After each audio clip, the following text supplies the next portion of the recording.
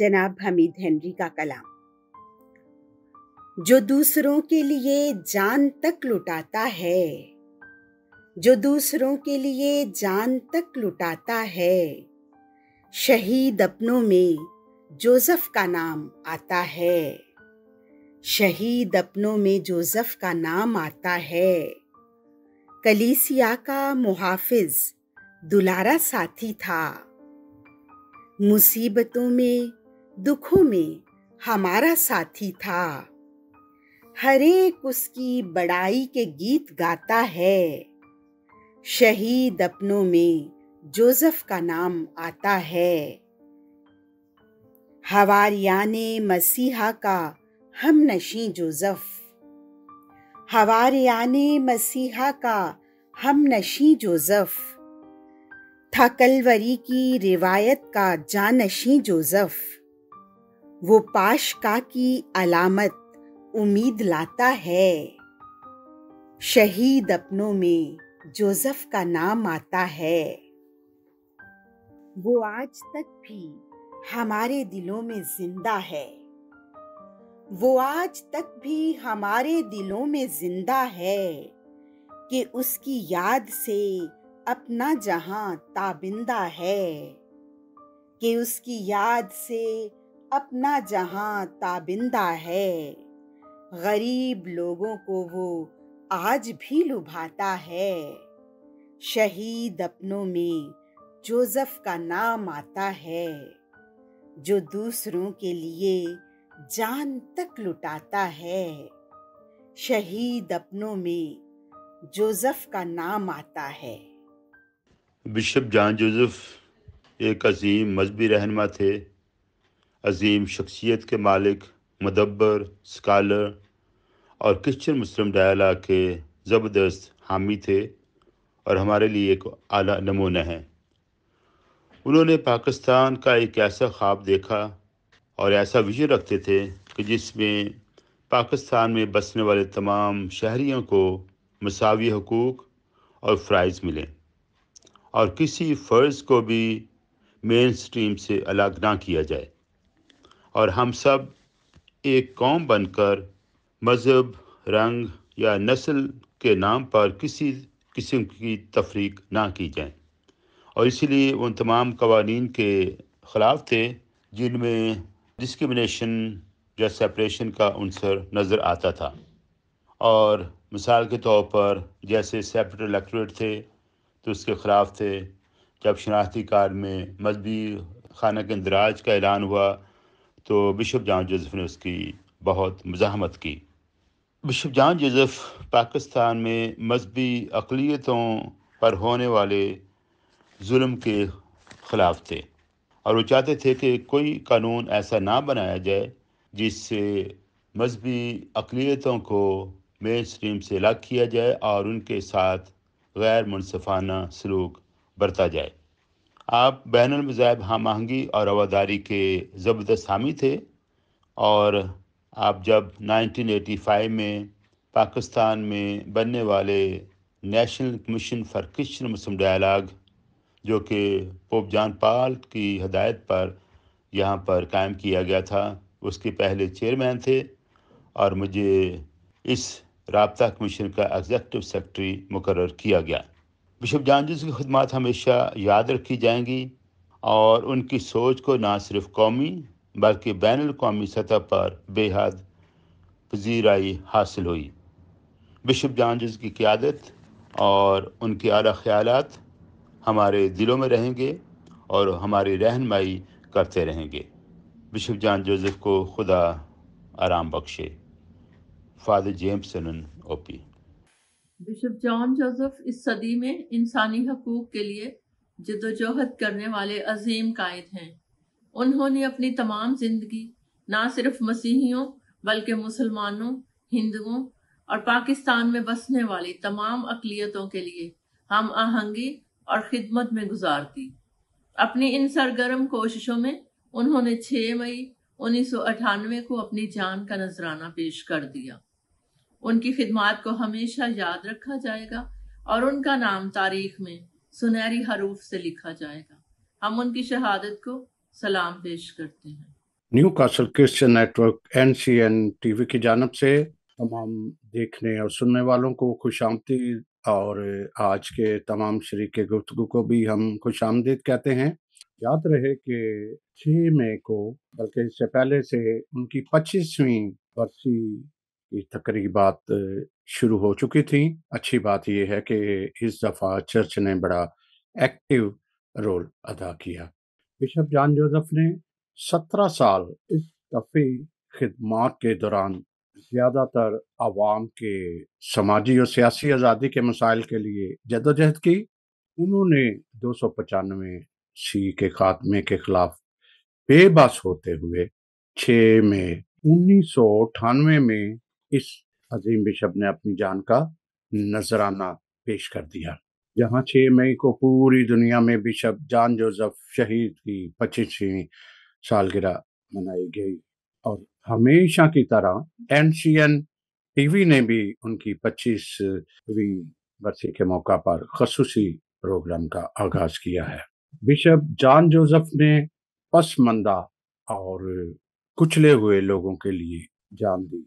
Bishop जान Joseph लोगों के दिलों में एक तहरीक और जद्दोजहद की याद दिलाता रहेगा। वो एक इनकलाबी सोच रखने वाले बिशप थे, जहाँ कहीं भी इंसानी हकूक की पामाली होती। किसी गाँव, बस्ती या घर में किसी का एहतसाल किया जाता तो बिशप जान जो हमेशा उनकी दाद रसी के लिए सरगर में अमल रहते। उन्होंने हमेशा ना सिर्फ़ मसीहों, बल्कि पाकिस्तान की तमाम मजहबी अकलीतों की सियासी हकूक के लिए जदोजहद की। शनाख्ती कार्ड में मजहबी खाना का मसला हो या मजहबी अकलीतों के बराबर के शहरी होने की जदोजहद हो, उन्होंने आगे पेश पेश रहे दो सौ पचानवे सी के खात्मे के लिए का हमेशा उन्होंने सड़कों मुख्त सूबों और अदलिया की सतह पर इम्तियाजी कवानीन के खिलाफ जदोजहद की और इस राह में अपनी जान का नजराना भी पेश किया। तो नाजरीन, अगर हम आज जायजा लेते हैं, उनकी कुर्बानी के बाद जो 25 साल हैं, उसमें आप देख सकते हैं, जिन खदशात का उन्होंने इजहार किया था कि दो सौ पचानवे सी क्या हमारे गर्दनों पर एक लटकती हुई तलवार है, वो ना सिर्फ़ हमें नुकसान देगी, बल्कि तमाम जितने भी पाकिस्तानी हैं, उनको नुकसान देंगी। और आप देख लें, किसी को जेल में कत्ल किया गया, किसी को बात करने पे मार मार के उसको कत्ल कर दिया गया। और इसी तरह बहुत सारे वाकयात और जो भी वकील चाहे खड़ा हुआ है, मुल्तान का वाकया है, और बहुत सारे वाकया है, उनको इस जगह पे या इस पे एहतजाज करने पर जान देनी पड़ी, जिस तरह गवर्नर सलमान तहसीर हैं तो आज हम यही तजिया करेंगे कि ये 25 साल जो हैं, उनकी कुर्बानी के बाद हर साल हम ये दावा तो करते हैं कि बिशप शहीद जान जोसेफ साहब, हम आपकी कुर्बानी को रायगा नहीं जाने देंगे। लेकिन सवाल यहाँ पैदा होता है कि अगर जद्दोजहद की होती तो इन 25 सालों में हमारा नक्शा बिल्कुल चेंज हो, हुआ होता। तो आज मैं सबसे पहले सदाकत सरदार साहब जिनको मौका मिला है बिशप साहब के साथ वक्त गुजारने का उनकी जद्दोजहद में शामिल होने का तो मैं उनसे तजर्बा भी पूछूँगा और उनसे ये भी पहले जो एक हमारी रस्म होती है ये पूछूँगा कि वो आज कैसा उनको महसूस हो रहा है कैसा लग रहा है इस तरह आने में या बात करने में कि दोबारा वो अपनी यादों को दूसरों से शेयर करें। जी, मैं आपका बहुत ही शुक्रगुजार हूँ। खासतौर पर आज इस मौके पे जबकि हम बिशप जॉन जोसेफ साहब की पच्चीसवीं बरसी की तकरीबात में शामिल हो रहे हैं तो आपका और आपके चैनल का खास तौर पर शुक्रगुजार है, जिन्होंने हमें ये मौका दिया है हम एक अजीम शख्सियत के बारे में उनकी खिदमत का इतराफ़ कर सके। और वो जो काम उन्होंने किए हैं, जो उनकी, हमारी कलीसिया के लिए जो कंट्रीब्यूशन है, उनको शेयर कर सके।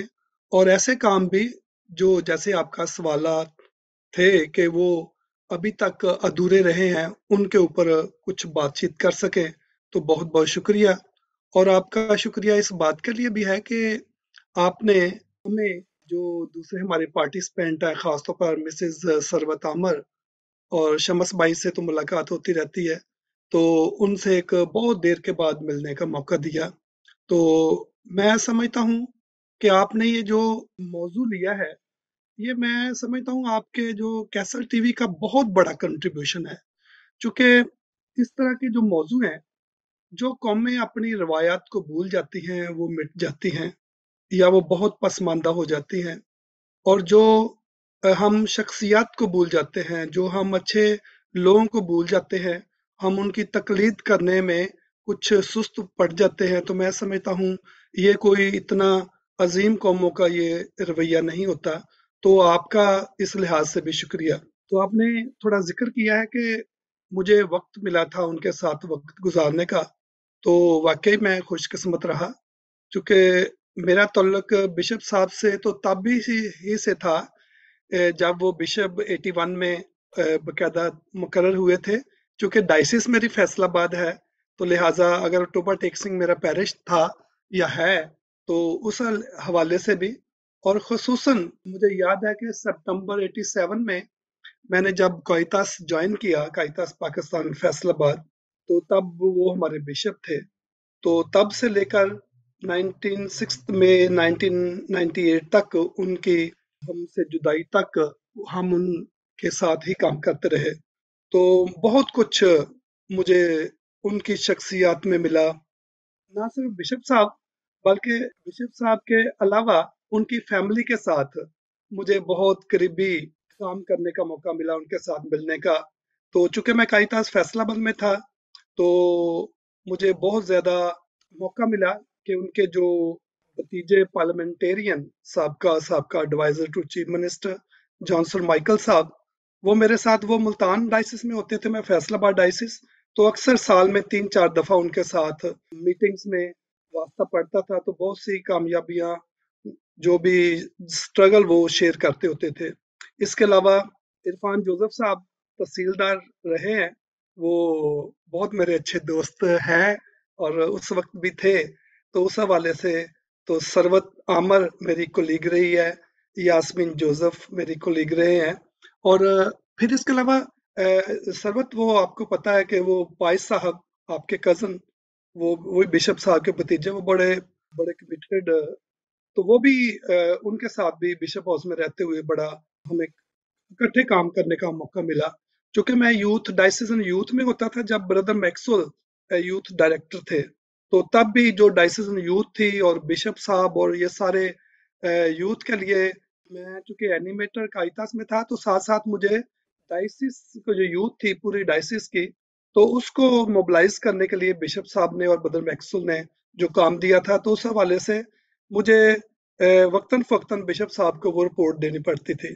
और उस वक्त मेरा वास्ता ज़्यादा वो गहरा होता गया जब बिशप साहब को बिशप कॉन्फ्रेंस की तरफ़ से यूथ डायरेक्टर की ज़िम्मेदारी भी दी गई।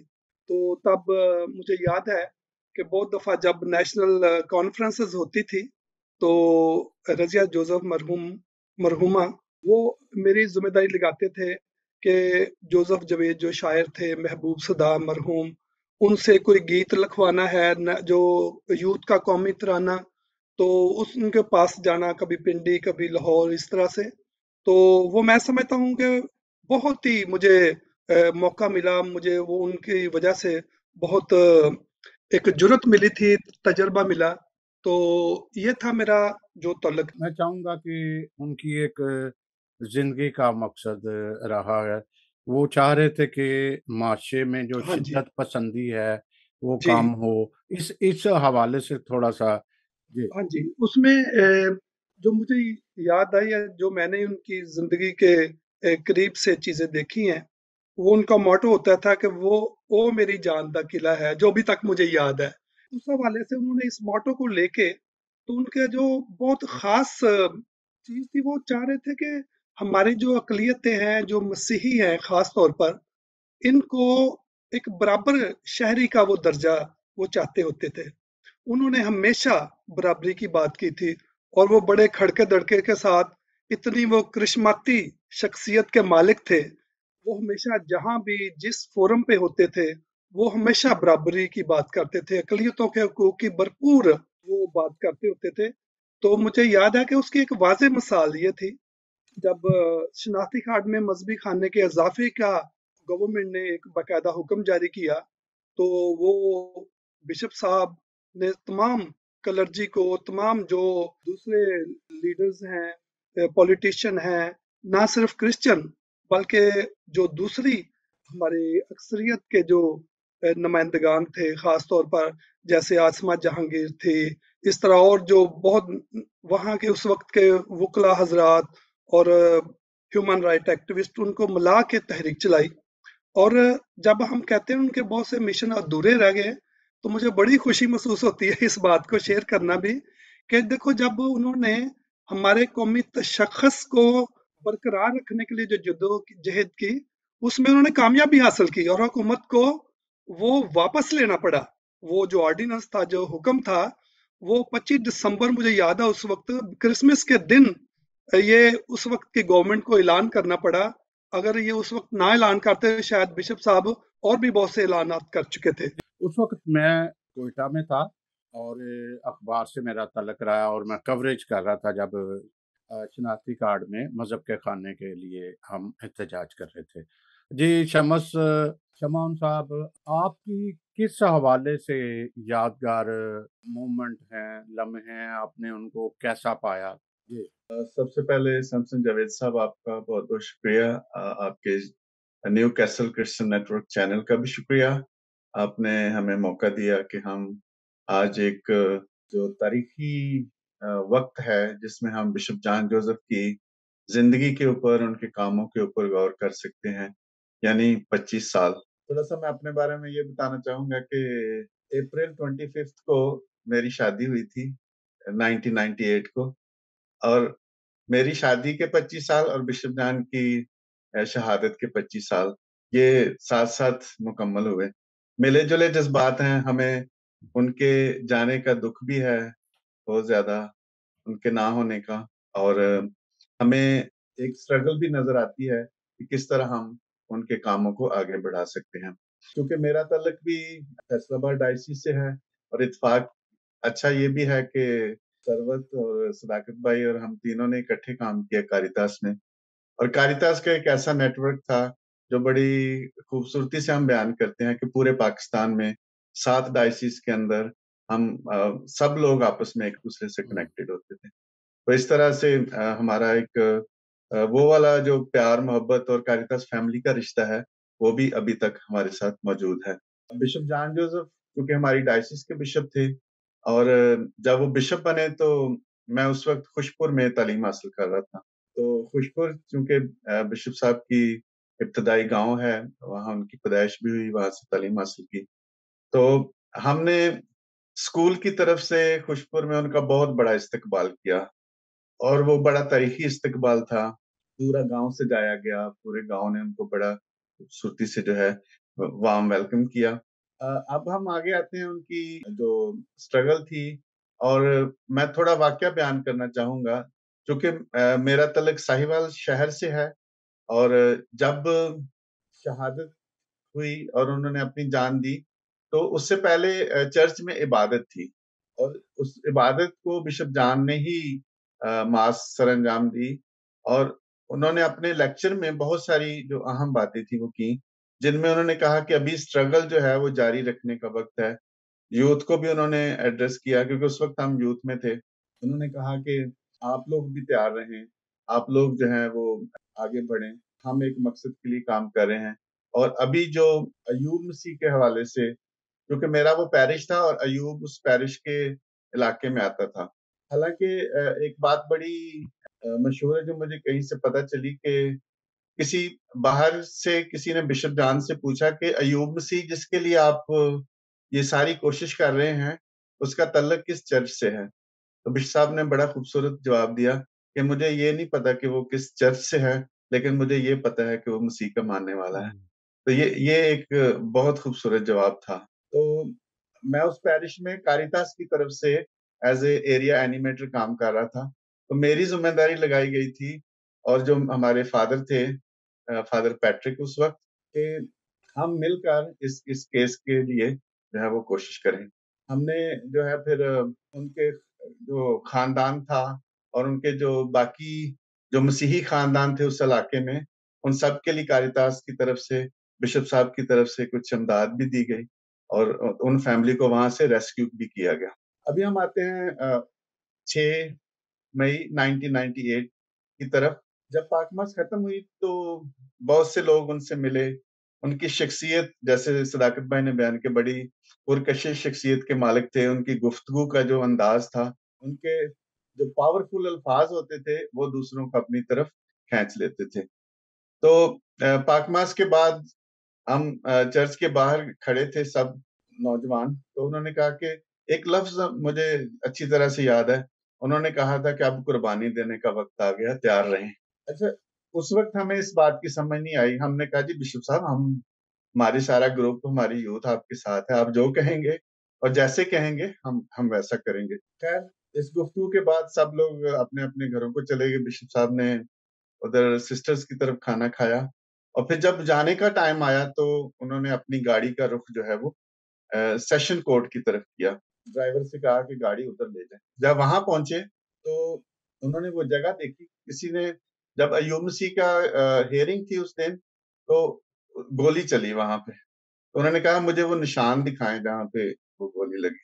जब उस तरफ़ को गए तो फिर उन्होंने उधर बहुत रंजीदा हुए और फिर सबको उन्होंने कहा, फादर भी साथ थे, उनके उनके ड्राइवर भी थे तो उन्होंने कहा, आप गाड़ी में बैठे।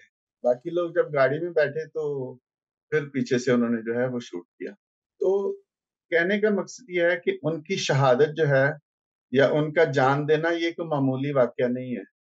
ये ये क्षमा साहब क्षमा साहब ये ये वाकया उस वक्त हुआ जब मंजूर मसीह ये ये जरा उसको टच कीजिएगा ताकि वजह लोगों को अयूब मसीह अयूब मसीह अयूब मसीह आरफ वाला का जो मसीही था उस पे ब्लास्फेमी का केस लगा था।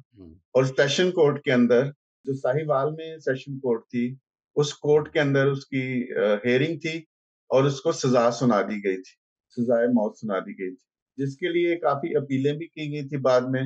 और आसमा जहांगीर जो थी उन्होंने मैंने सुना है कि उस केस को लेने से भी पीछे हट गई कि उन, उनको बहुत खतरात लाक है। लिहाजा बिशप जान चाहते थे कि कोई वकील पुटअप करे कोई आगे बढ़े कोई साथ मिले। और थोड़ा वहाँ पे लग रहा था कि जैसे उनकी जो कोशिशें हैं उनका नतीजा नहीं आ रहा।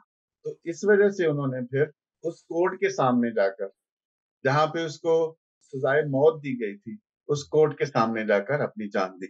और ये इस बात का इजहार था कि मेरी जान, मेरा खून जो है, वो एक दिन रंग लाएगा। और ये नाहमवारी, ये जो मज़हब के नाम पे जबर तशद जुल्म किया जाता है, वो खत्म होगा। और इस वाक्य से हमें ये भी मालूम होता है कि बिशप जान सिर्फ़ कैथलिक मसीहियों के बिशप नहीं थे।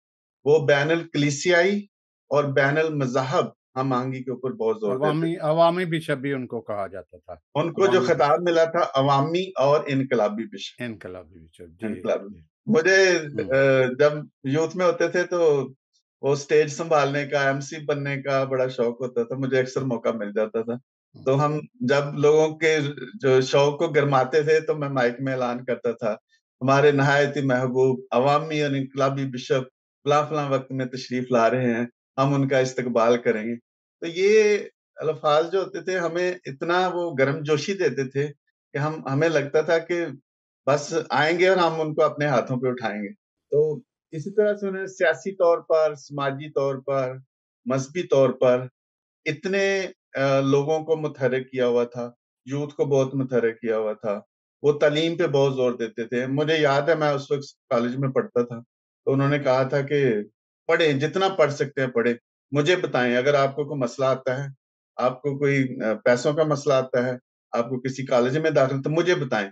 सब सब नौजवान जो है वो पढ़े। सेमनरी थी फैसलाबाद में। सेमनरी में लड़कों को भेजते थे। कहते थे, आप फादर बने, बहुत अच्छी बात है। अगर नहीं भी बन सके, कम से कम आप ग्रेजुएट हो जाएँगे, पढ़ सकेंगे। तो ये एक मौका फ्राहम करते थे अपनी अपनी तरफ़ से। कि यूथ जो है वो आगे बढ़ जाए। और उस टाइम पे बल्कि उन्होंने यूथ मिनिस्ट्री भी अलग से एक हॉल एक बनाया हुआ था।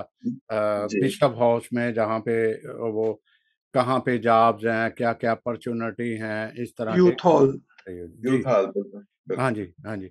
अच्छा आगे चले कि समझ साहब आपसे फिर बात करते हैं तो सरवत आमिर साहबा से बात करते हैं जो उनकी बिशप साहब की भतीजी भी हैं एक फैमिली मेंबर भी हैं तो उनको जो है ऐसी गाइडलाइन या ऐसी पैटर्न या ऐसी चीज़ जो आप भी वो लेके आगे बढ़ी हुई हैं यादें तो आपकी बहुत होती हैं क्योंकि आपके ज़ाहिर हैं आपने अ, कितनी आपकी उम्र होगी जब आपने देखा यहाँ पर गालबन छोटी होंगी? और उनकी एक्टिविटी जानती होंगी तो कैसे आपको लग रहे थे कि वो रूहानी भी रिश्तों में भी जुड़े हुए थे, उनका भी फ़र्ज़ पूरा करते थे? और ऐसी चीज़ जो आप लेकर अब आगे चल रही हैं। जी। सबसे पहले तो मैं आपके प्लेटफॉर्म से तमाम बहनों और भाइयों को बिशप जॉन जोसेफ शहीद की पच्चीसवीं योम शहादत पर बहुत बहुत मुबारकबाद पेश करती हूँ कि 25 साल बाद भी हम बिशप जॉन जोसेफ शहीद को कहीं ना कहीं किसी ना किसी तरीके से ज़िंदा रखे हुए हैं। तो मैं बहुत खुश नसीब समझती हूँ अपने आप को कि आज आपके प्रोग्राम में शामिल हूँ और इस लिहाज से खुश नसीब समझती हूँ कि बिशप जॉन जोसेफ का ब्लड लाइन हूँ। जहाँ तक आपने बात की है कि हम किस तरह उनके कॉज को आगे लेके चल रहे हैं। तो पर्सनली मैं सबसे पहले ये शेयर करना चाहूँगी कि आज का जो मौजू है, पच्चीसवीं योम शहादत की बात है। तो 25 साल पहले मैं वाक्यतन एक बहुत ही कह लें नौजवान उम्र थी और सदाकत और शमस हमारे टीम मेंबर थे, हम बहुत पुरजोश थे। और बिशप जॉन जोसेफ शहीद ने जो हमारी फॉर्मेशन की है, हम खुशकिस्मत हैं कि उन्होंने हमारी फॉर्मेशन की है फैमिली में भी। और जब मैंने करितास ज्वाइन किया तो उस वक्त मेरी बहुत छोटी उम्र थी। मैंने अपनी ज़िंदगी में जो पहला अमली कदम उठाया है, वो पीटर शहजाद साहब जब कारितास के डायरेक्टर थे फैसलाबाद में मैंने ज्वाइन किया तो I was just 23 years old that time वो एक, आप कह लें कि जज्बा बलबला और जुनून होता है। और बिशप जॉन जोसेफ शहीद उस वक्त फैसलाबाद डायोसीज के इंतहाई हर दिल अज़ीज़ अवामी बिशप थे। और इम्तियाजी कवानीन के खात्मे के लिए वो बढ़ चढ़ कर काम कर रहे थे। तो मैंने अपनी जब प्रैक्टिकल लाइफ का आगाज़ किया तो मैंने ये देखा कि वो किस तरह पिसे हुए पसमानदा और बेबस लोगों की आवाज़ बनते थे मैंने इससे पहले अपनी जो जितनी भी मेरी स्कूलिंग हुई सेक्रेट हार्ट में, उसके बाद मेरा कॉलेज और फर्दर जो हायर एजुकेशन मैं तब कलीसियाई तौर पे जितने भी बिशप्स फादर्स थे, मैं जब चाचा जी से पहले देखती थी, उस वक्त एक डिस्टेंस था। लेकिन बिशप जॉन जोसेफ शहीद ने तमाम दरवाजे आम लोगों के लिए खोल दिए, जिसपे उन्हें बहुत तनकीद का भी शायद सामना करना पड़ता है अब तक और करना भी पड़ा।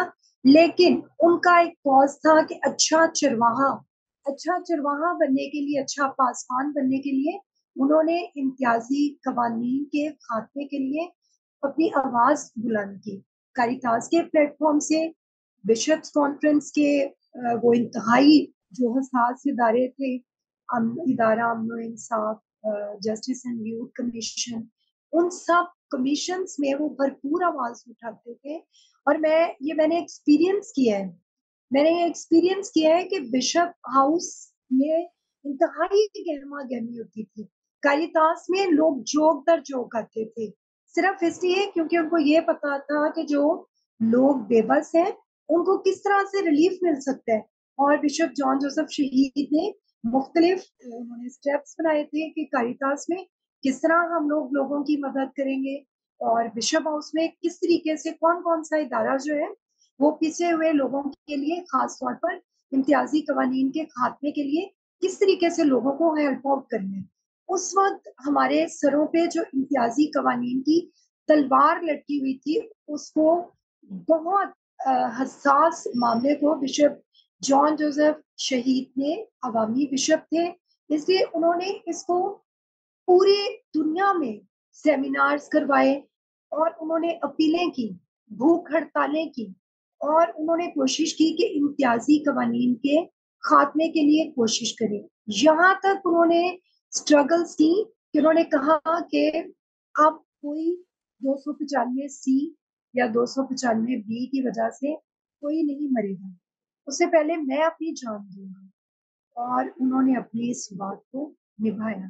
लेकिन सवाल यहाँ पे ये पैदा होता है कि आया उनकी लाजवाल कुर्बानी को, कुर्बानी माना जाता है या कुछ लोग अपनी समझ के मुताबिक उसको कहते हैं कि बिशप जॉन जोसेफ ने खुदकुशी की। तो यहाँ पे मेरी हम्बल रिक्वेस्ट होगी तमाम लोगों से कि उनकी मोहब्बत की इस लाजवाल कुर्बानी को हम रायगा ना जाने दें।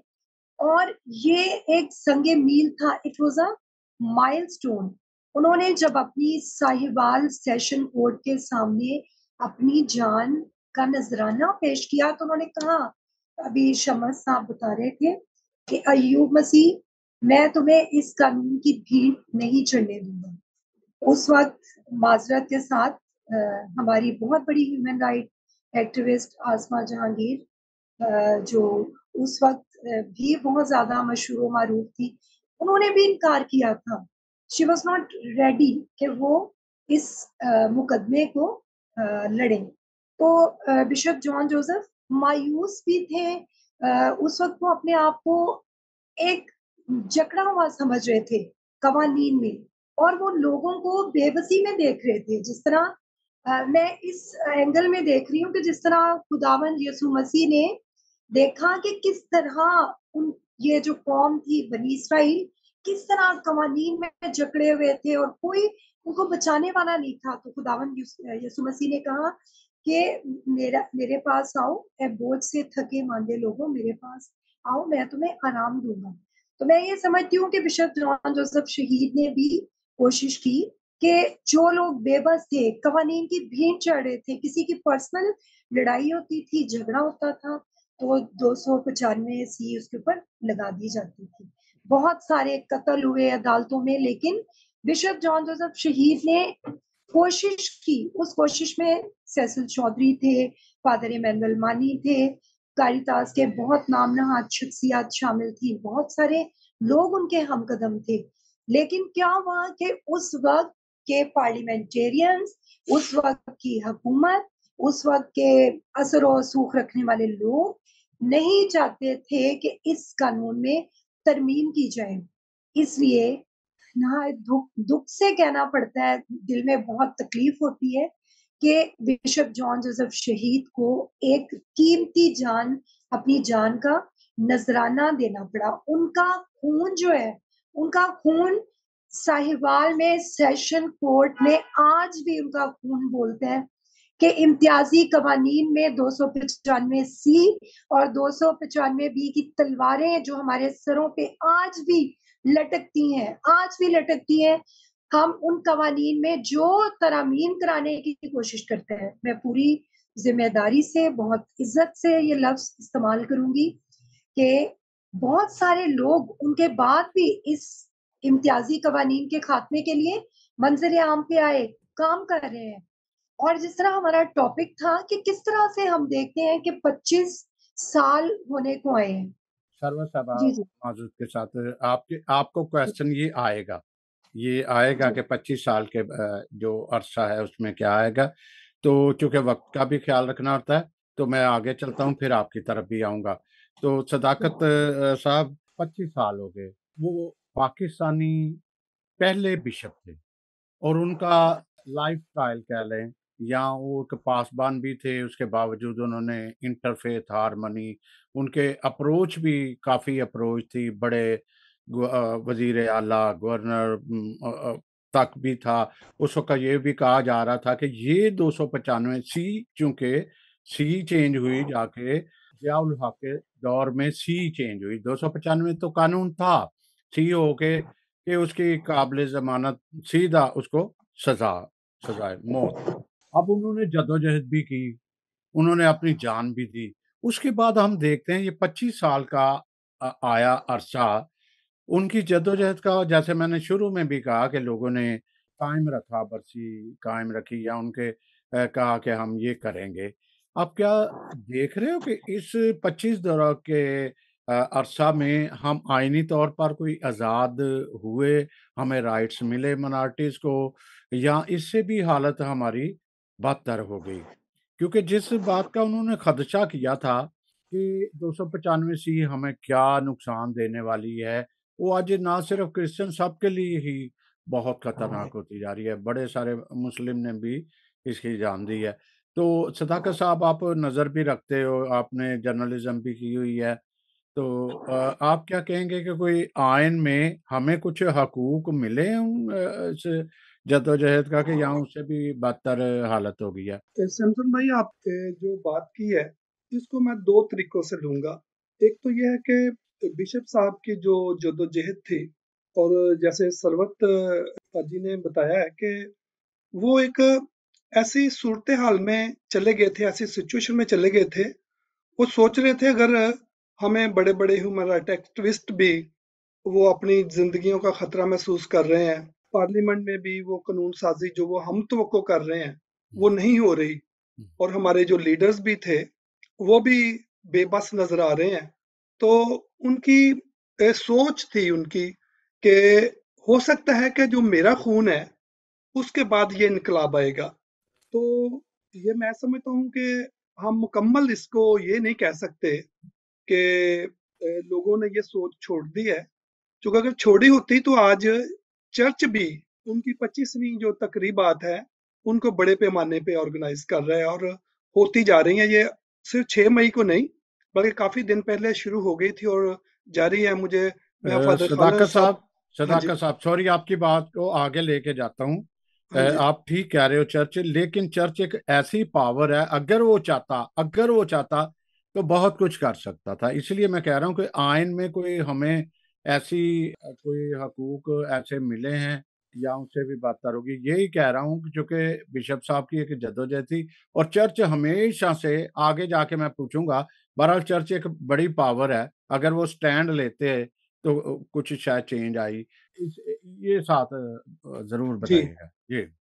जी मैं अपने महदूद हसीयत के मुताबिक क्योंकि मैं एक अकेला बैठ के एक पूरे चर्च का जो सेटअप है उसको मैं एनालाइज करूँ ये मेरे बस की बात नहीं है। लेकिन ये जो तो होती है एज अ पर्सन मैं सोचता हूँ कि जिस तरह बिशप साहब ने इस चीज़ को आगे लिया था अब सबसे जो बड़ी रुकावट है जब मैं कह रहा था हम दो सतह पे इसे देखेंगे एक सतह तो ये है कि हम तो कर रहे हैं कि चर्च कैसे और इससे बूस्ट कर सकता है इस मूवमेंट को। और ये देखिए चर्च का जो रोल है वो है रूहानी। और साथ साथ दुनियावी भी वो तरक्की वो करते हैं। लेकिन इस काम के लिए जो मखसूस लोग हैं वो है हमारे सियासी लीडर।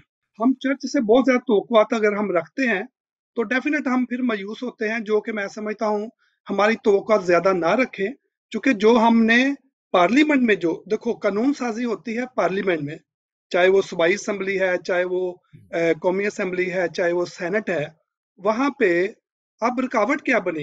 इस कानून को जो हम स्पीड देख रहे थे या जिस तरह कुर्बानी थी बिशप साहब की, वो ये हुई कि वहाँ पे वो सेपरेट इलेक्टोरेट मौजूद है। अब सेपरेट इलेक्टोरेट का मतलब क्या हुआ कि हर पार्टी ने अपनी मर्ज़ी से जो उन्हें पसंद है, उन्होंने उन लोगों को नामजद करना है पार्लियामेंट में। अब उनकी क्या बेचारे को हैसियत है कि वो अपनी पार्टी से इनहराफ करें जो कि उनके मरहून मिन्नत है, और जब चाहे वो उस पार्टी का जो चेयरमैन है, वो उसे इस्तीफा लिखवा ले भी आपने ये मेरी पार्टी की पॉलिसी के खिलाफ बात की है, लिहाजा रिजाइन कर दे। मैं किसी और को नामजद कर देता हूँ। जब तक सर, हम मेन स्ट्रीम में नहीं आएँगे, और जब हम मेन स्ट्रीम में आएँगे, मेन स्ट्रीम का मतलब क्या है? मुझे बड़ी अच्छी बात लगती है, मैं किसी पार्टी की इस वक्त हमायत नहीं कर रहा, लेकिन बात यह है कि पीपल्स पार्टी ने फैसलाबाद में पीपी 114 में नईम यकूब को टिकट दिया है। अब जब वो डायरेक्ट इलेक्शन के लिए जाएगा तो वो जो स्लोगन्स देगा, वो नारे देगा, वो जो उसने अपनी कौम को अक्सरियत के साथ मिलके बैठ के देखना है, वो तजिया करने का बड़ा अच्छा मौका है कि देखो यार इस जो जो भी इम्तियाजी कवानीन है, उनने क्या रंग फैलाए है, क्या उसका फ़ायदा हुआ। अभी देखे मैं जब, पहली तो बात है ऐसे इम्तियाजी कवानीन जिसे हम इम्तियाजी कवानीन कहते हैं शायद अक्सरियत या कुछ चंद लोग उसे इम्तियाजी नहीं समझते वो समझते ये हमारा हक है। हम्म। तो लिहाजा हम इस बात को बड़े मोहतात तरीके से इस तरह से पेश कर रहे हैं कि अगर तो इस कानून ने बहुत खिदमत की है मुल्क की तो उसे जारी रखें। अगर इससे हम मजीद तकसीम से तकसीम दर होते जा रहे हैं तो बिशप साहब का वो जो खदशा था उस वक्त वो अब नज़र आ रहा है। नज़र कैसे आ रहा है? अब ये मुख्तलिफ़ फिरकों के ऊपर भी लग रहा है। मुख्तलिफ़ ना सिर्फ़ क्रिश्चियन, हिंदू सिख या बाकी लोग, वो उन पे भी लग रहा है। अब उसका और नुकसान क्या हुआ? अदम बर्दाश्त आ गई है। अगर आप किसी को नहीं पसंद करते तो ये सबसे बड़ा फार्मूला है कि जनाब, आप इसका तरीकाकार इस्तेमाल करो और जिसको मर्ज़ी फंसाद हो चुका है इसकी बिग पनिशमेंट है। तो लिहाजा, अभी हम हमने क्या करना है? जो बिशप साहब उस वक्त करते थे, मुझे याद है, उस वक्त वो पीर इब्राहिम को साथ मिलाते थे, उस वक्त वो मुख्तलिफ़ मजाहब के मुख्तलिफ़ लीडर्स को साथ मिलाते थे, और मुझे खुशी की बात है कि अब ये काम, ये जारी और सारी है। जैसे मुझे अच्छी तरह याद है, मैं वो फादर जेम चंदन साहब के काफले में भी जब मैं गया था तो उस वक्त भी उन्होंने, जैसे जिस शहर में भी जाते थे, उस शहर से उस मज़हब के मुख्तलिफ़ लोगों को लॉयर्स को मजहबी रहनुमाओं को, मज़हब में भी सुन्नी को भी, शिया को भी, बाकी लीडर्स को भी, इसी तरह बाकी जो एडवोकेट्स वो बाकी तंजीमें के साथ। अब ज़रूरत इस बात की है सर कि ना सिर्फ़ चर्च देखो हम जब हम सिर्फ़ तो रखते हैं कि सिर्फ़ चर्च ऐसा इस कानून को लेके आगे जाए तो मैं समझता हूँ ये हमारी, उनके साथ भी ज्यादती होगी, क्योंकि काम जिसका काम उसी को साजे। Right person for the right job कभी कभार भी कभी कभार हम ऐसी तो ऐसे बंदों से करते हैं जैसे वो है खिलाड़ी लेकिन हम कहें जी कि वो बहुत बड़ा इनकलाब ले आएगा सियासी तौर पे तो मैं समझता हूँ कि ये मेरी बात थोड़ी सी लंबी हो गई है लेकिन फिर भी फिर भी चर्च जो है चर्च अपने जी। आप ज़रूर इतफाकी करेंगे मैं जो क्वेश्चन करने वाला हूँ चमस चमौन साहब से तो अगर अगर आपकी बाकी बात रहेगी तो हम एक छोटा सा राउंड ले लेंगे अगर आपकी बात रह गई होगी चमस साहब ये पावर की बात है चर्च की पावर की बात। हम तो क्यों करते हैं? आप भी जानते हैं इस वक्त आप अमेरिका में बैठे हैं और सदाकत साहब आप भी अमेरिका में बैठे हुए हैं। आप बिला झिझक बात कर सकते हैं आई नो वेरी वेल और जैसे मैं यूके में बैठा हूँ एक बात कर सकता हूँ। ग्रे लिस्ट के वक्त सारे बिशप पहुँच के जिन्होंने असर दिखाया और ग्रे लिस्ट से पाकिस्तान निकल गया। ये बहुत सारे लोग नहीं जानते शायद इस बात को कि बिशप कॉन्फ्रेंस या बिशप साहबान की क्या पावर है। तो यहाँ जब हम देखते हैं जब हम देखते हैं कि हमारे पाकिस्तान में इस तरफ़ एक्टिव नहीं अगर कोई फंड देना होता है या प्रेस कॉन्फ्रेंस करनी होती है या हमायत का बताना होता है तो बिशप तो बहुत आगे आगे होते हैं। लेकिन इस मामले में राइट्स के ये जो मूवमेंट बिशप साहब ने एक चला दी थी, शायद मैं अभी कह भी कह भी सकता हूँ जब मैं उनकी रिप्लेस का इंटरव्यू ले रहा था, मैंने कहा तो उन्होंने कहा कि नहीं, मैं उन बिशप साहब, वो चौधरी थे, वो चौधरी थे, वो डांग पकड़ना जानते थे, मैं वो पैटर्न नहीं ले सकता। मुझे फकर है कि मैंने उनका पहला इंटरव्यू लिया हुआ है। और मुझे ये भी पता है कि मैं जब यूथ का था डिस्ट्रिक्ट यूथ का तो बिशप साहब से मिलने का इतफाक हुआ। उस वक्त शेखुपुरा या किसी भी ऐसी जगह पे ज़मीन पे कब्जे की बात थी तो बिशप साहब बहुत सारे लोगों को लेकर वहाँ खड़े हो गए थे। आजो आजो वे केड़ा आंदा इधर आजो हाँ? मतलब ललकारा सामने को कि जो ज़मीन पे कब्जा करने वाले थे, गैर मसीह। तो अब जो मैंने पावर शो, पावर की बात कर रहा हूँ, आप इतफाक करते हो। आप क्या इस पे कहना चाहेंगे? जी। जी बहुत शुक्रिया। क्योंकि ये टॉपिक काफ़ी वसी है और हमें बहुत सारी चीज़ों को कवर करना है। आ, हो सकता है कुछ बातें रह जाएँ कहते कहते लेकिन देखें चर्च जो है बुनियादी तौर पे खास तौर पे जो कैथोलिक चर्च का स्ट्रक्चर है। और जो बिशप की आवाज़ होती है वो काफ़ी पावरफुल आवाज़ होती है। लेकिन जब हम बिशप जॉन जोसेफ की साइड पे जाते हैं तो हमने ये देखा है पिछले 25 साल में कि बिशप जान जोसेफ की जो अपनी जाति कमिटमेंट और अपनी जाति स्टैंडिंग होती थी, वो बड़ी स्ट्रांग होती थी। उनकी जैसे आपने पहले बयान किया मुझे याद है कि बहुत सारे भूख हड़ताली कैंप को वो लीड करते थे। वो जहाँ भी कोई नाइंसाफी की बात होती थी, खुद जाके पहले खड़े रहते, मैं सामने खड़ा हूँ, आओ, इधर गोली मारो, मुझे मारो। फिर उनके तलकात थे इंतजामिया के साथ। वो वहाँ के उनसे बात करते थे, मजहबी लीडरान से बात करते थे। और उन्होंने एक अपना एक हल्का है बाप जो है, वो बनाया हुआ था। मुझे याद आ रहा है कि मैंने कहीं पढ़ा था कि जो बैनल मजाहब और बैनल कलीसियाई मुकालमा का जो कमीशन शुरू किया गया था, वो भी उन्होंने किया था और फादर जेम्स चैनल ने भी ज़िक्र किया, वो उसके सेक्रेटरी थे। तो ये उसी बात का एक आउटकम था कि वो ये चाहते थे कि मैं अकेला स्ट्रगल नहीं करूँ, मेरे साथ और बहुत सारे लोग जो है आएँगे क्योंकि ये कानून जो है उस टाइम पे, उस अरूज पे था, उस सतह पे था कि बिशप जान ने ही इस कानून को मुतारफ भी करवाया दूसरे लोगों में, इस मुल्क के अंदर भी और दूसरे मुल्कों के अंदर भी। जब वो जर्मनी में उनके रबते होते थे, जब इटली में रबते होते थे, उनके बहुत सारे इंटरव्यू मैगजीन में छपते थे तो वो इसी बात का ज़िक्र करते थे कि ये कानून जो है, ये खास तौर पे मजहबी अकलीतें जो है, उनके सर के ऊपर लटकती हुई तलवार है।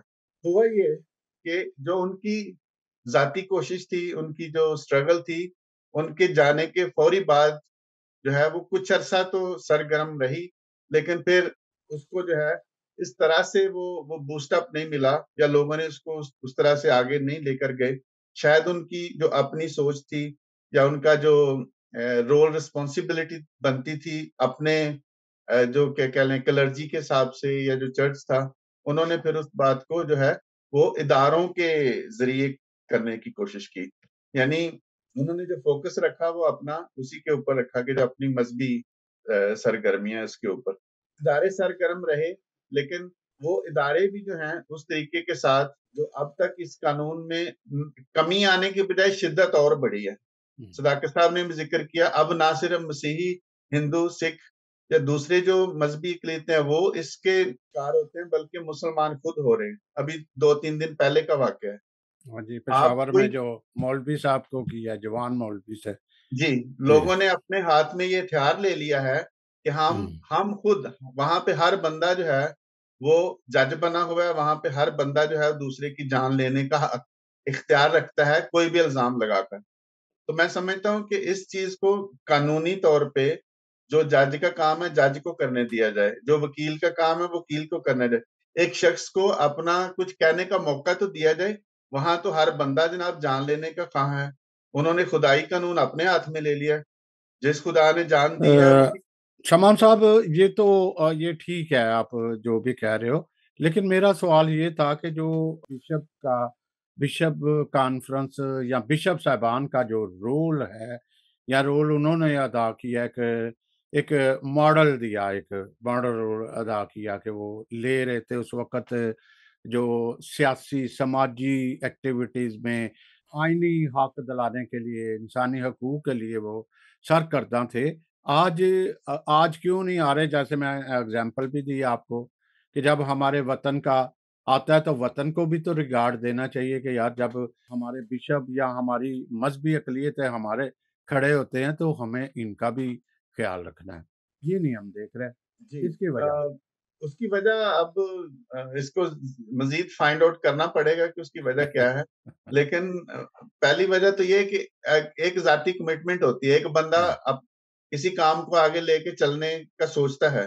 बिशप जान में ये सोच थी उनमें ये चीज़ थी कि वो ना सिर्फ़ इस ब्लास्फेमी के केसेस को बल्कि दीगर नाइंसाफियों को भी लेकर चलते थे। वो दूसरी अवाम वो सिर्फ़ एक एक मसीही के जो कैथोलिक मसीहियों के लीडर नहीं थे वो हर हर मसीही के लीडर थे और ना सिर्फ़ हर मसीही के बल्कि हर पिसे हुए शख्स के लिए लीडर होते थे। तो अभी हम ये देख सकते हैं कि फ्यूचर में अगर हम अपने मजहबी लीडरान जो हैं हम ये जानते हैं कि बिशप्स कॉन्फ्रेंस जो है उनकी बड़ी पावर है उनका कहा हुआ जो है हर जगह पे जो है वो माना जाता है। तो ये आगे हमारे लिए एक मौका है प्लेटफॉर्म है कि अगर हम बाहर से जो ले पर्सन है हम उनके साथ कोई रबता करके और उनसे कहें कि ये जो अदारे वहाँ पे जिस तरह कारितास का अदारा है, कारितास का भी पिसे हुए लोगों के लिए काम करना है। मतलब चर्च सिर्फ़ आज या पहले या शुरू से दुआ नहीं रहा या लोग कहते हैं ना कि सिर्फ़ इनका काम दुआ है, दुआ नहीं। ये उनकी चर्च जो है वो कफ़ालत भी करता है, जैसे जीसस क्राइस्ट भी एक उन्होंने ऐसे दिया था। तो मेरा ये कहने का मतलब था कि अगर चर्च इन्वॉल्व हो, जैसे हमारे बड़े सारे मसाइल, फ़ोर्स कन्वर्जन, सबसे ज़्यादा इस वक़्त बहुत अज़ाब है हमारे लिए, और बहुत सारे हम राइटलेस हैं। हम राइटलेस हैं, अगर हमारे चर्च या बिशप इन्वॉल्व हों, ये इसलिए नाज़रीन टॉपिक से नहीं बल्कि हमारे महबूब जो शहीद बिशप जान जोसेफ का एक रहा है, पैटर्न रहा है या उनका एक नारा रहा है, हम उसी नारे को आगे लेके जाने की कोशिश कर रहे हैं या आज यौम तजदीद भी कह लें कि ये योम तजदीद भी है कि हम उनकी जो एफर्ट से या कुछ से उनको दरा रहे हैं। आगे चलते हैं फिर लास्ट में आप जो को कहना चाहेंगे। सरवत साहबा अभी बातें हुई कि हमारा चर्च जो इस ऐसी एक्टिविटीज़ जो मैं अभी ज़िक्र कर रहे थे, राइट्स की बात हो रही है, जो मैरिज एक्ट की बात हो रही है या जो भी जिस तरह हमारे पर्सनल एक मज़हबी राइट्स हैं, उनमें हम देखते हैं तो हमारे चर्चेज़ का कोई रोल नज़र नहीं आ रहा। इसकी वजह? मैं आपसे ये अर्ज़ करना चाहूँगी कि मैं बोल्डली और पूरी ज़िम्मेदारी से कहना चाहूँगी और मैं पाकिस्तान में रहते हुए मैं ये कहना चाहूँगी कि चर्चेज़ का जो रोल है और कॉन्स्टिट्यूशन में जो प्रिविलेजेस हैं एक माइनॉरिटीज़ के लिए, वो हाईलाइट की गई है कॉन्स्टिट्यूशन में। बहुत सारी जो है उनके ऊपर इम्प्लीमेंटेशन हो रही है और कुछ पे इम्प्लीमेंटेशन नहीं हो रही। इम्प्लीमेंटेशन जिन चीज़ों पे हो रही है, वो चर्च का कोई उसमें रोल नहीं है। वो दूसरी एनजीओज़ मैं जिस इदारे में काम करती हूँ, वो है इम्प्लीमेंटेशन ऑन माइनॉरिटी राइट्स। वो माइनॉरिटी राइट्स फोरम है और सुप्रीम कोर्ट से जो डायरेक्शन आती हैं, उनके ऊपर हम इम्प्लीमेंट करवाते हैं। अब बात हो रही है चर्चेज़ की, तो मैं ये कहना चाहूँगी बड़ी माज़रत के साथ कि जो चर्चेज़ का रोल है, बिशप्स का जितनी बड़ी इनके पास पावर है, वो ये रोल हरगिज़ प्ले नहीं कर रहे। बिशप जॉन जोसेफ शहीद ने वो अपने जो उनका मकसद था, वो सिर्फ़ पॉलिटिक्स के लिए नहीं थे, ही वाज़ अ लीडर। हमें फ़र्क समझना होगा कि पॉलिटिक्स सियासत में और लीडरशिप में डिफ़रेंस है। अब सियासत दानों का काम नहीं है कि क्रिश्चियन, मुस्लिम्स, हिंदू उनको पकड़ के कवानीन की भीड़ चढ़ा रहे हैं। फ़ोर्स कन्वर्शन का भी इशू चल रहा है, हम उस पे काम कर रहे हैं।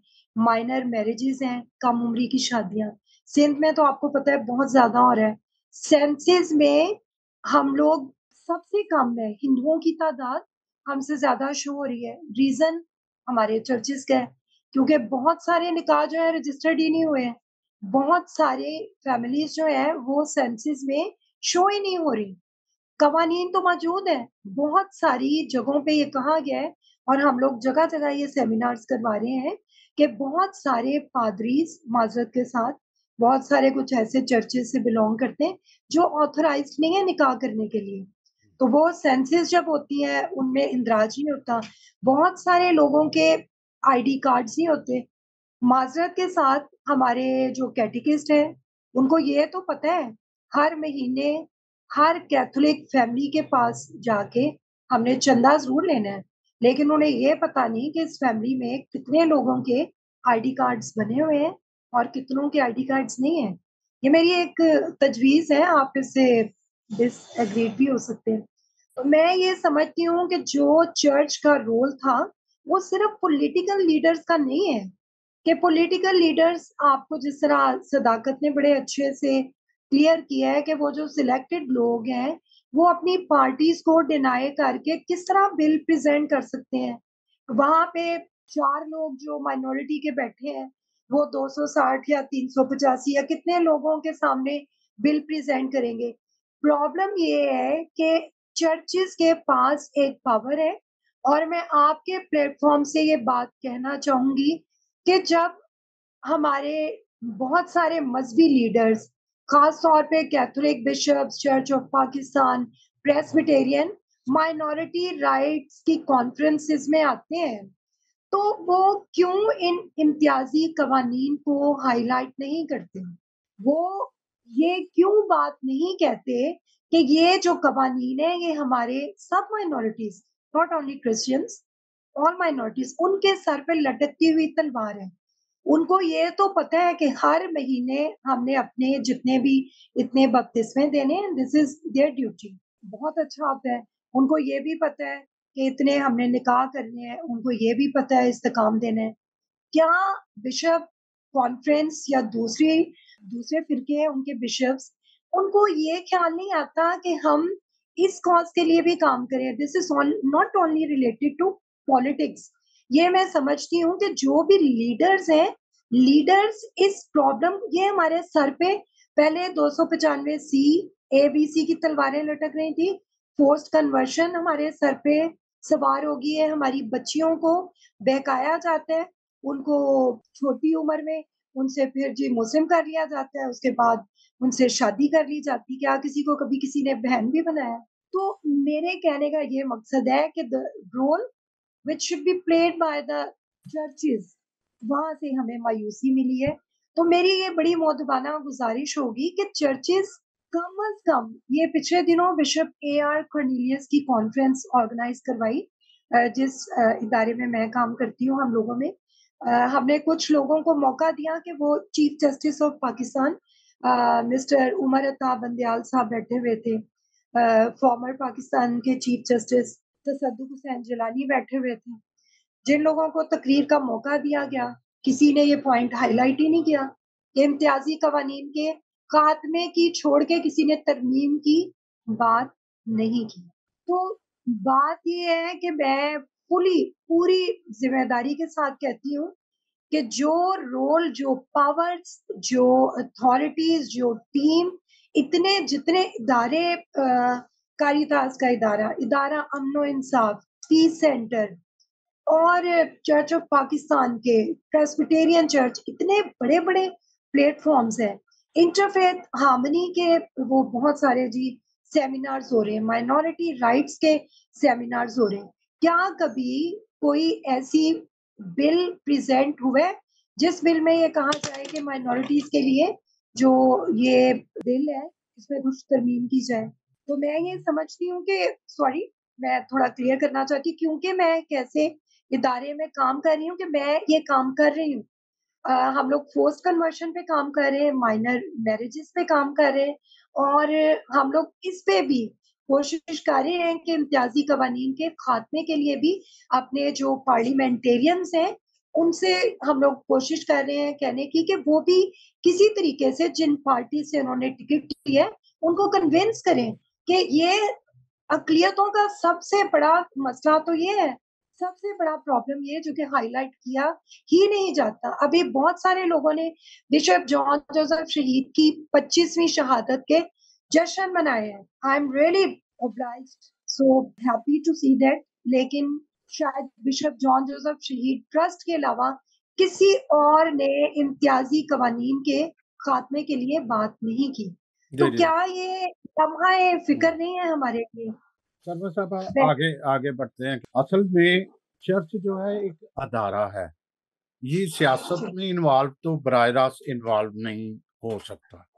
ठीक है एक तजर्बा हो गया हुआ है जब बर रास्त इन्वॉल्व हुआ है। लेकिन जो एक प्रेपरेशन होती है लीडरशिप जैसे डिपार्टमेंट है उसमें करना या स्टैंड लेना स्टैंड जब आप मुलाकात कर सकते हो वज़ीर आज़म आप आपकी अप्रोच सदर तक सब है तो आप ये भी तो कर सकते हैं कि हमारे राइट्स हमारी कम्युनिटी के मसाइल क्या हैं इनको हल किया जाए। इसको सियासत नहीं कहा जाता। ठीक है? ये भी नहीं कहूँगा कि मैं चर्च का कोई रोल नहीं है। चर्च नहीं कर रही चर्च इंटरफेथ हारमोनी का काफ़ी रिज़ल्ट आता भी है, कहीं नहीं आता। बहुत सारे जगह तक, अभी तक इंटरफेथ हारमोनी का जो या क्रिश्चियन मुस्लिम डायलॉग है, वो नहीं पहुँच सके वहाँ तक। ये, लेकिन कई जगह पे रिज़ल्ट नहीं आया। ये नहीं हम कह रहे कि बिल्कुल ही चर्च ने कुछ नहीं किया, लेकिन चर्च को एक्टिव होकर रोल अदा करना पड़ेगा। और मैं एक तमाम देखने वालों को ये ज़रूर वाजिया करूँगा कि बिशप जॉन जोसेफ ने ऐसी रवायत डाली है उन्होंने ये नहीं कहा कि वो सिर्फ़ कैथलिक के लिए काम करेंगे जैसे शमा साहब ने भी कहा था कि वो पता करो कि कौन से चर्च से अयूब मसीह का तल्लक है तो उन्होंने कहा कि मुझे चर्च से नहीं। तो वो ओपन करते थे बिशप एलेक्जेंडर मलक जान मलक का उनके साथ तल्लक थे दूसरों के साथ एक बिशप साहबान का था तो ये एक एक फिरके की या कैथलिक की बात नहीं हो रही। कतन ये बात नहीं कि हम बात कर रहे हैं। हम इज्तमाही तौर पे कर रहे हैं कि जितने भी हमारी लीडरशिप है बिशप सबान है चाहे वो प्रेस बटेरियन है चाहे वो चर्चा पाकिस्तान किसी भी इन सबको मिलके एक क्रिश्चियनिटी के लिए मनाटी के लिए काम करना है। कतन नहीं कि हम हम सारा जो है बात करते हैं कि जी कैथलिक बिशप कैथलिक थे तो सारे कैथलिक ही हमें सबको एक जद्दोजहद करनी है। और किसी ने ये सोचा भी नहीं होगा उस वक्त, कहाँ ये सोचा था कि दो सौ पचानवे या अमेंडमेंट हो रही थी सी के इसका, नुकसान क्या होगा? लेकिन चूँकि वो जानते थे बिशप साहब, उन्होंने इसकी पहले से आगाही दी, आज जो चल रहा है। तो सदाकत साहब, एक मिनट में आप सारे इस गुफ्तगु को ज़रूर समेटिएगा कि हमारे लिए इनकी बरसी का, पच्चीसवीं बरसी का मैसेज क्या हमें मैसेज क्या आता है? जिस तरह हमने डिस्कस किया अगर इसमें से कोई आप देखते हैं कि की पॉइंट आया उसकी ज़रूर बात कीजिएगा।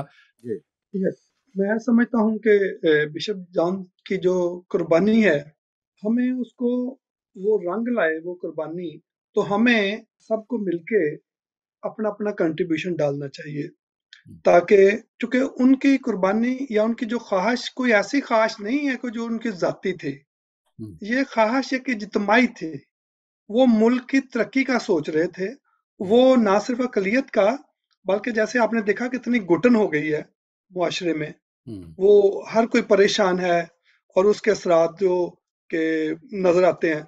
तो मैं समझता हूँ कि हमें चर्च को जो सिविल ऑर्गेनाइजेशन है सिविल सोसाइटी की उनको और बाकी हमारे जो पॉलिटिशियन है खास तौर पर हम सबको मिलके इस पे काम करने की ज़रूरत है चूँकि कैथोलिक चर्च अगर डायरेक्ट वो हम कहते हैं जी दुनियावी काम नहीं कर रहे लेकिन उसके कुछ ऐसे सोशल आर्म्स हैं जैसे काइटास है। Caritas human total human development की बात कर रहा है। जस्टिस एंड पीस वो अदल इंसाफ की बात कर रहा है। तो मैं समझता हूँ इन तरह के जो अदारे हैं मुझे याद है कि जब बिशप साहब के दौर में वो एक सिग्नेचर कंपेन चली थी जुदागाना इंतखाब के मजहबी खाने में इजाफे के खिलाफ। तो इतनी कामयाबी से हमारे काइतास के एनिमेटर कैटिकिस्ट और सब लोगों ने बहुत मेहनत से वो काम किया था।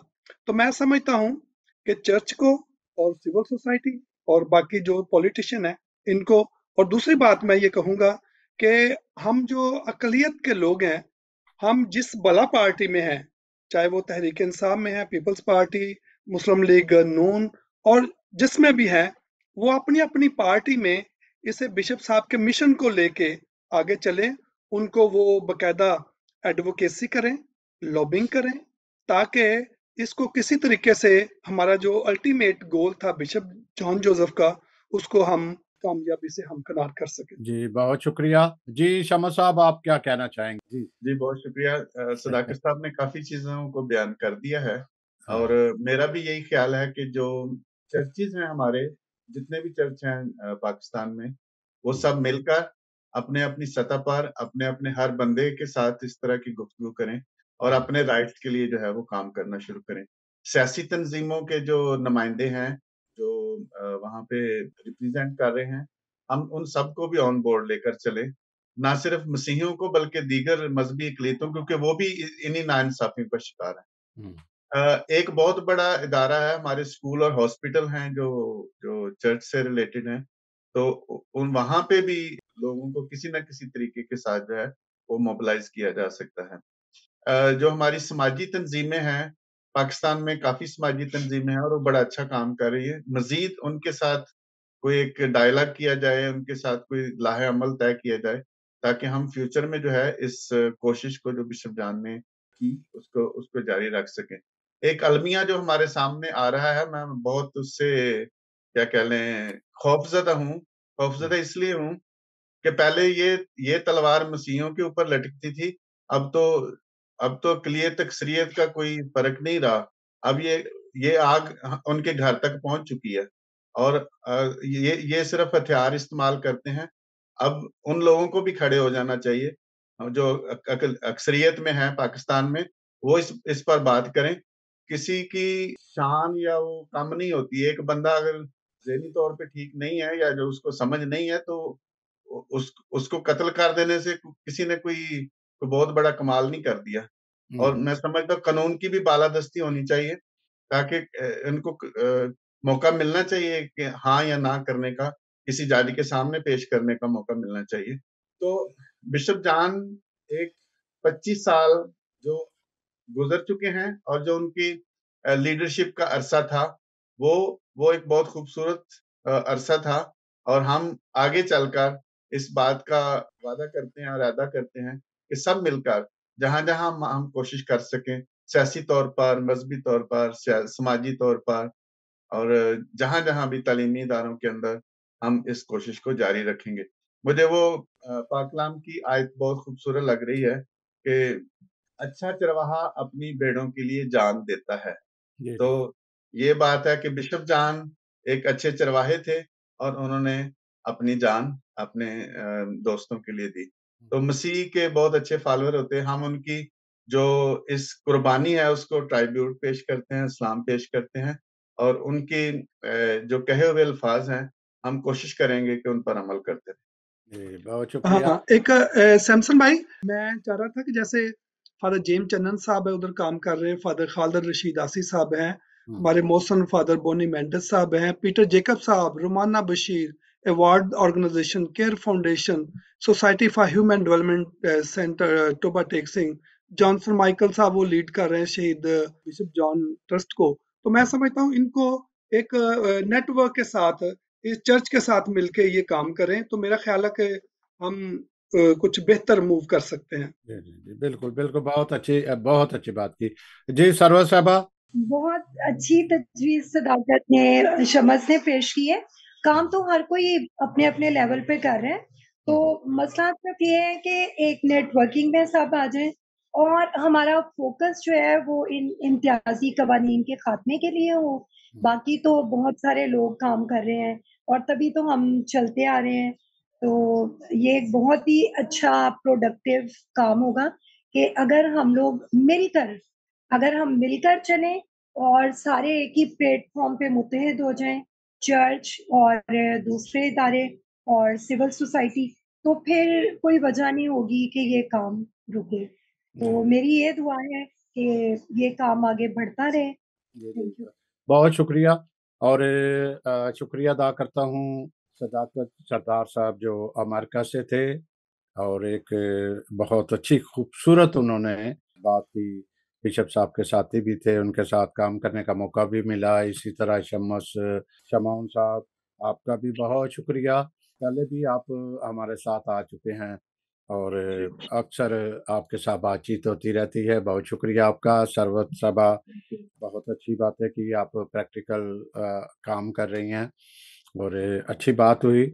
और, मैं यही बात कहते हुए दो जुमलों में आज के प्रोग्राम को वाइंड अप करता हूँ कि जिस हालात और वाक़यात को या जिस कदर माशरे में शिद्दत बढ़ती जा रही है तो जो मजहबी जमातें हैं, उनको, मजहबी जमातों को, चर्चेज को ये सोचना पड़ेगा कि इस शिद्दत पसंदी को कैसे ख़त्म किया जा सकता है, चर्चेज को रोल अदा करना पड़ेगा।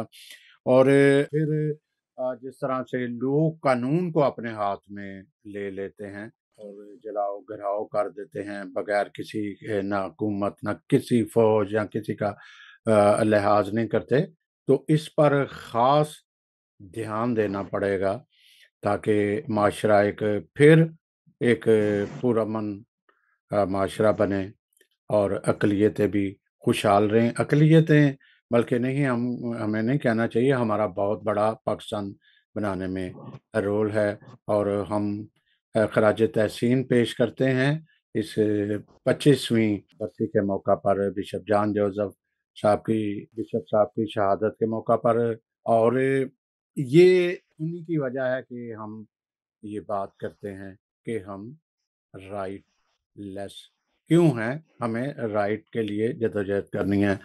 नाजरन, ज़रूर आपको ये प्रोग्राम पसंद आया होगा और ज़रूर इस पे एक दफ़ा सोचिएगा। ये सारा जो गेंद है आपके गोल में है तो खुदा आप सबका हामी नासिर हो। Thank you. बहुत शुक्रिया।